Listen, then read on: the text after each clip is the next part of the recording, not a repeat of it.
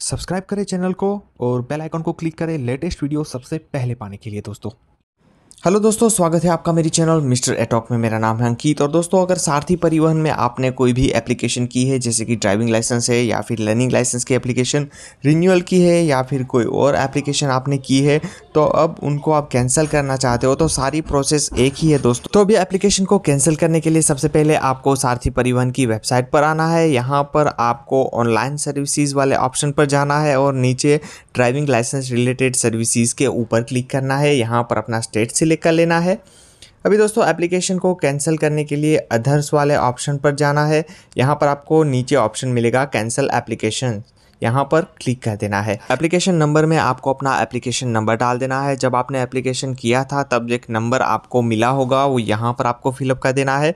उसके बाद date of birth में आप अपना डेट ऑफ़ बर्थ डाल दो कैप्चा फिलअप कर देना है और नीचे सबमिट वाले ऑप्शन पर क्लिक करना है। आपके एप्लीकेशन की सारी डिटेल्स है, वो यहाँ पर शो होगी। आपने एप्लीकेशन कहाँ से अधूरा छोड़ा है, वो भी यहाँ पर डिटेल्स में आपको दिखाई देगा।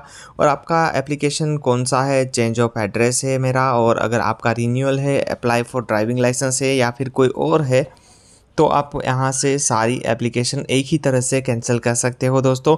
यहाँ पर अभी हमें कैंसिल करना है तो कैंसिल एप्लीकेशन वाले ऑप्शन पर क्लिक करेंगे। यहाँ पर एक कन्फर्मेशन पूछ रहा है तो प्रोसीड फॉर कैंसिल वाले ऑप्शन पर क्लिक करेंगे। जो मोबाइल नंबर हमने एप्लीकेशन के टाइम डाला था उस पर एक ओटीपी आएगा, आया होगा। तो ओ टी पी यहाँ पर फिलअप कर देना है और सबमिट पे क्लिक करना है। यहाँ पर टर्म एंड कंडीशन को एक्सेप्ट कर लो और प्रोसीड फॉर कैंसिल पे क्लिक करना है। तो देखो यहाँ पर एप्लीकेशन नंबर आ चुका है और इस सक्सेसफुली कैंसिल तो एप्लीकेशन नंबर है, वो कैंसिल हो चुका है, हमारा पूरा एप्लीकेशन कैंसिल हो चुका है। अभी दोस्तों, अगर आपको दोबारा कोई एप्लीकेशन करना है तो आप नेक्स्ट डे कर सकते हो दोस्तों। तो दोस्तों, इस तरह से आप अपने ड्राइविंग लाइसेंस, लर्निंग लाइसेंस या और कोई भी एप्लीकेशन हो, ऑनलाइन कैंसिल कर सकते हो दोस्तों।